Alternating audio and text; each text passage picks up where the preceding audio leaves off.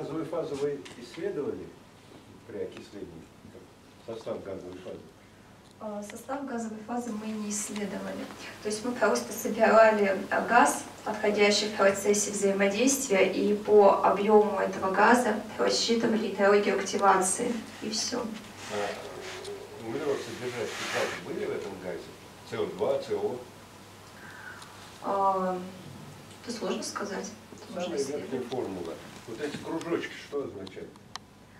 Ну, это просто э, схема. Нет, Это, это можно не обращать на них внимания, это просто Нет, может быть некорректно обозначен каротиновый На это слой. надо обращать внимание. Дело в том, что в органической химии вот такой кружочек означает в бензольном кольце 6 Бензольное электронов. кольцо.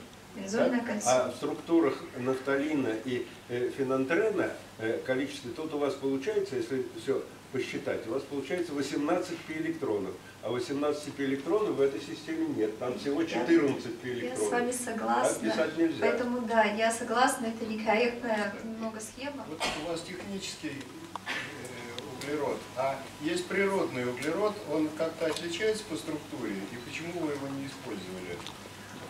Ну, технический углерод, промышленно выпускаемый, он, конечно, будет отличаться от э, того углерода, о котором вы э, говорите, но дело в том, что мы используем именно промышленно выпускаемые мороки технического углерода с известными свойствами, э, с фиксированными свойствами. Возможно, в дальнейшем мы будем использовать и какие-то другие углерод содержащие материалы для исследований. Это же может быть уголь, это может Это может быть... быть все что уголь, а угодно.